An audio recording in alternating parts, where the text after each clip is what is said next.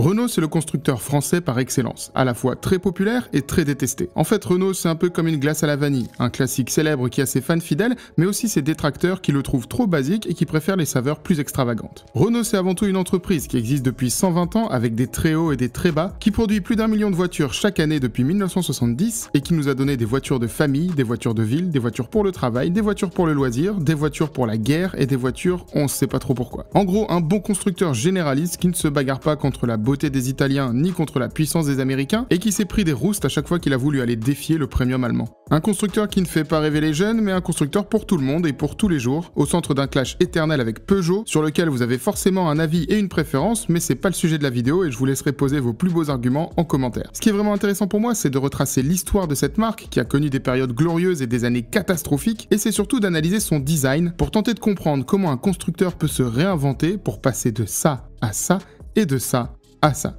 Mais avant de passer au vif du sujet, je voulais juste prendre 10 secondes pour vous remercier de l'immense soutien que vous avez donné à mon projet Appel de phare. On a eu énormément de commandes en France, en Belgique et en Suisse, et du coup, on a mis un peu de temps pour tout expédier, mais à l'heure où vous regardez cette vidéo, normalement, tout le monde a bien reçu son colis à la maison. Pour ceux qui auraient loupé, Appel de phare, c'est une série d'affiches automobiles en édition limitée que j'ai dessinées à la main et à la tablette graphique. Il y a 5 modèles iconiques en édition limitée à 100 exemplaires, et il reste quelques exemplaires de disponibles, alors profitez-en avant que ça parte, parce qu'il y a 100 tirages par format et pas un seul de plus. C'est premier arrivé, premier servi et en bonus, vous avez 10% offert sur votre première commande directement sur le site appeldefar.com. Alors rendez-vous sur le site, merci encore pour votre soutien et maintenant on retourne à notre vidéo. Notre histoire démarre au cœur de la France industrielle du 19e siècle, dans l'atelier modeste d'une maison familiale où naît une vision qui allait révolutionner l'industrie automobile et s'inscrire dans la culture populaire française. Cette vision, c'est celle de Louis Renault, un jeune ingénieur audacieux qui transforme une simple voiturette en un phénomène grâce à son invention, la boîte de vitesse en prise directe. Un an plus tard, avec ses frères Marcel et Fernand, il crée en 1899 la société Renault Frères à Boulogne-Billancourt, point de départ d'une aventure exceptionnelle. Aussi surprenant que ça puisse paraître, les premiers clients de la marque sont des gens vraiment très riches, puisqu'une Renault coûtait 3000 francs, soit 10 ans de salaire pour un ouvrier moyen. Dès ses premiers pas, l'entreprise, avec ses taxis de la Marne et ses contributions essentielles pendant la Première Guerre mondiale, devient synonyme de progrès et de patriotisme. Mais Louis Renault, qui était grand croix de la Légion d'honneur et qui s'est bien enrichi pendant la Première Guerre mondiale, est accusé de collaboration pendant la Seconde Guerre mondiale et il est même mort en prison avant son procès, tandis que la société a été privatisée par l'État français. C'est après la fin de la Seconde Guerre mondiale que la marque commence véritablement à tisser son lien indéfectible avec les Français en lançant la 4 chevaux, surnommée affectueusement la mode de beurre. Une petite voiture économique qui symbolise la liberté retrouvée et ouvre la voie à l'automobile de masse en incarnant les aspirations de tout un pays en reconstruction. Au fil des décennies, Renault s'ancre dans le quotidien des Français, des ruelles pavées de Paris aux routes sinueuses de la campagne, avec les modèles emblématiques que sont la Renault 5 et la 4L qui deviennent des icônes de liberté et d'aventure. Ces voitures ne sont pas seulement des moyens de transport, elles sont le reflet d'une époque, d'une société insouciante et d'un désir d'exploration. Un autre fait historique difficile à imaginer pour les plus jeunes quand on regarde les modèles de la marque aujourd'hui, c'est que l'audace de Renault se manifeste aussi sur les circuits de course. La création du moteur turbo en Formule 1 dans les années 70 révolutionne le sport automobile et établit la marque comme un pionnier technologique. Les années 70, c'était une belle période pour Renault qui débute en 72 avec la naissance de la Renault 5 qui devient rapidement un phénomène, une icône de la culture populaire qui sillonne les routes de France et d'Europe. Jusqu'en 1984, son succès sera sans précédent avec plus de 5 millions d'exemplaires produits et elle règne en maître comme la voiture française la plus vendue pendant 12 années consécutives. L'année suivante, en 73, Renault prend une participation majoritaire dans Alpine et la marque étend même ses horizons bien au-delà des frontières françaises en 79 en allant se confronter au marché américain où sera vendue la R9 Turbo sous le nom de Renault Alliance, élue voiture de l'année aux États-Unis en 1983 par le journal Motor Trend.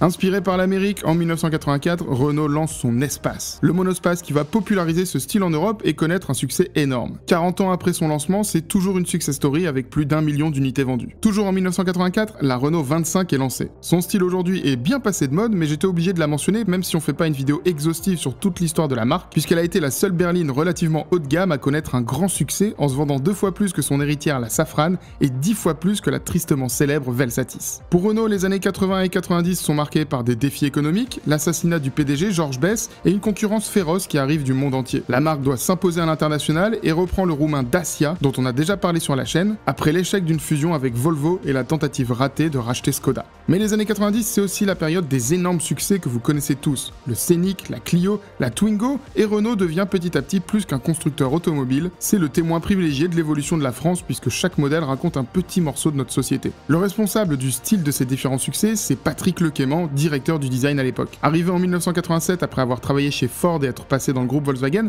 il a posé sur le style de la marque aux losanges une empreinte vraiment mémorable pour tous ceux qui ont connu les années 90 et le début des années 2000. Même s'il a été couronné de succès sur les petites voitures et sur la moyenne gamme, il a totalement raté ses tentatives dans le haut de gamme, où les modèles Velsatis et Avantime n'ont pas réussi à convaincre. D'ailleurs, elles ont tellement floppé qu'il en existe relativement peu en circulation et que c'est en train de devenir des collectors pour certains mordus de la marque. En 2007, Renault sort la nouvelle version de sa Twingo avec un design assez impersonnel qui se fait manger par la Fiat 500 présentée à la même période. La Laguna 3 floppe totalement à cause de son design banal et le Coleos arrive dans un marché saturé avec un style lui aussi un peu passe-partout. Alors que les ventes et l'identité de la marque sont au plus mal, le temps est venu pour Patrick Lequément de prendre sa retraite et il va être remplacé par un grand néerlandais qui va mettre un sacré coup de balai, Lorenz Vandenacker. Ce fils d'architecte prend la tête du design pour la marque aux losanges après avoir été directeur du design chez Mazda. En arrivant, il découvre un sacré chantier et il a la responsabilité de donner un tout nouveau souffle à Renault. Ce sera chose faite avec une identité design totalement repensée qu'il présente avec une histoire simple. Imaginez que vous preniez l'avion pour un long trajet. Vous avez le choix entre la compagnie Mondrian et la compagnie Kandinsky. Pour un voyage en avion, le côté carré et sécurisant de Mondrian sera certainement plus important que le côté foufou de Kandinsky qui part dans tous les sens. Pourtant, cette compagnie, Kandinsky, elle pourrait avoir des statistiques de sécurité très élevées et peut-être même plus élevée que Mondrian. Le problème, c'est qu'elle ne parvient pas à faire passer ce message dans son identité.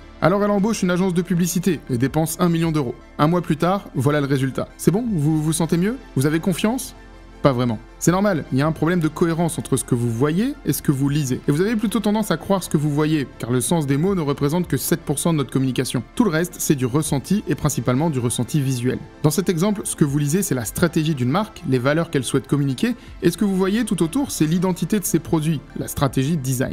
Quand vous êtes une entreprise efficace, l'identité de la marque et la stratégie design sont parfaitement cohérentes et vous créez un cercle vertueux très fort. Kandinsky a une très bonne stratégie de marque, mais on est d'accord pour se dire que leur stratégie design n'est pas très efficace pour une compagnie aérienne. Quand Lorenz Vandenacker est arrivé chez Renault en 2009, le message que la marque voulait communiquer n'était pas très clair et quand on observait les voitures dans la rue, elles étaient toutes différentes. Résultat des courses, la gamme de Renault pouvait se résumer en un mot, la confusion. L'espace se baladait à côté du Coleos, de la Megane 3, de la Laguna et de la Twingo 2. Seulement, vous vous en doutez, la confusion c'est une très bonne stratégie pour un constructeur automobile, et comme les ventes n'étaient pas au top, Lorenz et son équipe ont totalement revu la copie en se posant la question qu'est-ce que Renault doit inspirer? Pour lui, il y a trois types de constructeurs automobiles. La première catégorie, c'est les constructeurs centrés sur leur voiture. Ils jouent la carte de la technologie, des chevaux, de la performance, des voitures faites par les ingénieurs pour les ingénieurs. Et vous vous en doutez, beaucoup de marques allemandes sont dans cette catégorie. Ensuite, vous avez les marques qui veulent améliorer la planète et qui sont un peu plus amorphes, un peu moins expressives. Beaucoup de marques asiatiques se trouvent dans cette catégorie. Et enfin, vous avez les marques qui se concentrent sur l'humain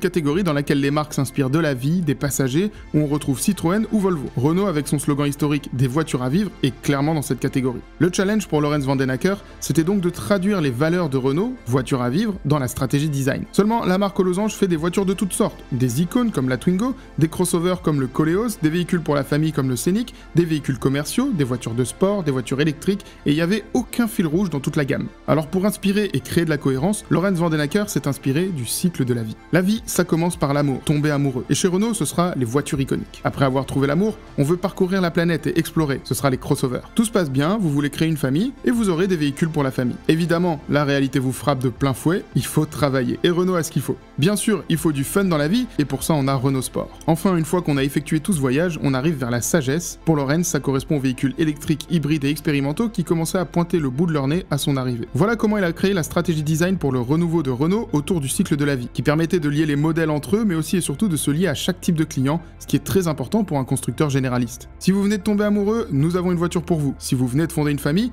on a ce qu'il vous faut. Si vous cherchez un véhicule pour travailler, venez chez nous. Cette stratégie a commencé par s'illustrer avec une série de concept cars qui ont marqué l'arrivée de Lorenz Vandenacker, en commençant par celui sur le thème de l'amour. Le coup de foudre, ce n'est pas forcément très intellectuel, c'est très instinctif et c'est souvent très visuel. Le designer l'assume même, le brief qu'il a donné à son équipe pour ce premier concept, c'est Laetitia Casta sur 4 roues. Ça a donné Désir, le premier concept sorti en 2010. J'en ai déjà parlé dans d'autres vidéos de la chaîne car c'est certainement le concept car qui m'a le plus marqué à l'époque. Contrairement à tout ce qui se faisait chez Renault avant, on efface les lignes géométriques pour adopter un langage très voluptueux avec une carrosserie d'un rouge profond couleur de la passion. Une voiture de sport pour deux, puisque tomber amoureux ça se fait pas à trois, et surtout une voiture qui raconte une histoire d'amour. La voiture a la chair de poule, comme quand on tombe amoureux, elle a des alliances de chaque côté mais qui sont pas encore connectées, puisque c'est pas encore gagné, les portes s'ouvrent encore chacune dans une direction différente, et quand vous êtes assis dedans, vous êtes sur un nuage. Avec 6 millions de LED rouges à l'intérieur, la voiture s'allume en reproduisant le rythme d'un cœur qui bat. Beaucoup de petites choses qui racontent vraiment une histoire et créent la cohérence qui manquait à Renault. Ensuite est venu le concept Capture, un crossover ouvert sur l'extérieur pour découvrir le monde à deux avec les bagages. Puis le concept lié à la famille, Airspace, pour les parents qui sont encore amoureux, avec le but de renouveler l'image du scénic de l'époque qui était devenu la voiture dans laquelle les parents sont les chauffeurs de leurs enfants et qui était beaucoup trop fade. Ça a donné un monospace aux lignes plus sensuelles et à l'intérieur romantique pour les parents et ludique pour les enfants. D'ailleurs, pour montrer que les parents sont encore amoureux, on a le détail du dos des sièges qui sont connectés. Ensuite est venu le travail avec le concept Frenzy qui a inspiré le Kangoo du futur. Une voiture de travail la semaine et de famille le week-end qui est donc asymétrique avec un côté fonctionnel et digital et un côté plus axé sur la famille avec à l'intérieur un tableau noir pour que les enfants puissent dessiner. Play a été représenté par les concepts Twin Run, une petite bombinette de course basée sur la Twingo, et Twin Z qui a été dessiné avec le designer Ross Grove et présenté au salon du mobilier de Milan. Et enfin la partie Wisdom incarnée par le concept Initial Paris, un véhicule familial connecté un peu plus haut de gamme avec la carte de Paris en guise de toit qui préfigurait clairement la génération suivante de Renault Espace. Cette série de voitures a raconté et illustré l'histoire que Renault souhaitait diffuser pour son renouveau, mais il a fallu aussi trouver un lien visuel au-delà du concept et ça s'est passé sur la face avant.